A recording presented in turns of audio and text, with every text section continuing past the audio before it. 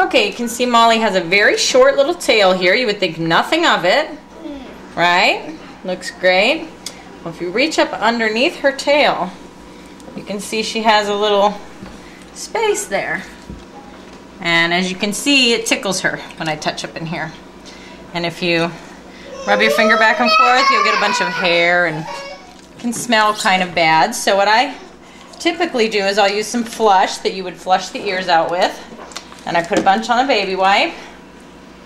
I just get up in there with it, rub back and forth, and make sure it's mm. nice and dried out. So that's how you check for a tail pocket.